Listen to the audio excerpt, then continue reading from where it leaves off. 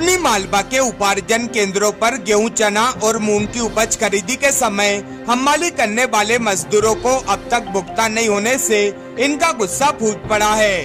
मंगलवार दोपहर बड़ी संख्या में हमाल जिला सहकारी बैंक के बाहर इकट्ठा हो गए और अपनी हमाली की मांग को लेकर नारेबाजी करने लगे। उनका कहना था कि लगभग तीन साल से हमें हमाली नहीं मिली है, जिसके कारण हमें अपने परिवार का पालन पोषण करना मुश्किल हो रहा है। इनमें से कई अम्माल अपने परिवार से दूर रहकर मजदूरी कर रहे हैं और परिवार को पैसा बेचते हैं। लेकिन अब जब इन्हें मजदूरी नहीं मिल रही है तो परिवार का पालन पोषण भी मुश्किल होता जा रहा है।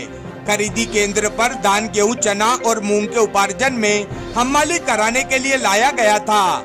इनमें से अधिकतर अम्मालों और उनके मुकदम को समिति प्रबंधकों द्वारा आश्वासन के तौर पर चेक भी दिए गए थे। मुकदम प्रदीप यादव ने बताया कि उपार्जन केंद्र में गेहूँ चना एवं मूंग खरीदी के समय हमालों से मजदूरी कराई गई थी जिसमें तुलाई बराई सिलाई और स्टेकिंग का काम हुए थे। लेकिन अब बार बार भुगतान मांगने पर प्रबंधक के द्वारा सिर्फ़ आश्वासन दिया जा रहा है कि विपणन संघ द्वारा भुगतान किए जाने पर ही भुगतान किया जाएगा। हम माल भुगतान को लेकर बहुत परेशान हो रहे हैं। राजू कुमार गोंड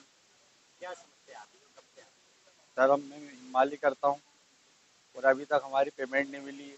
तीन सालों का पेमेंट रुका हुआ है। पेमेंट ही? नहीं आ रहा सर बैंक में। माली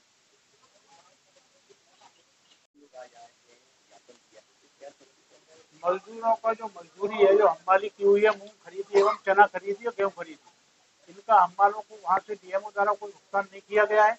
नई संस्था के खातों में कोई पैसा जमा हुआ है। हमारे वरिष्ठ अधिकारी डीएम साहब ने एमडी उन सबको लेटर जारी कर चुके हैं। उन्हें लिख दिया है, पैंतीस करोड़ या चालीस करोड़ उनको लेना है।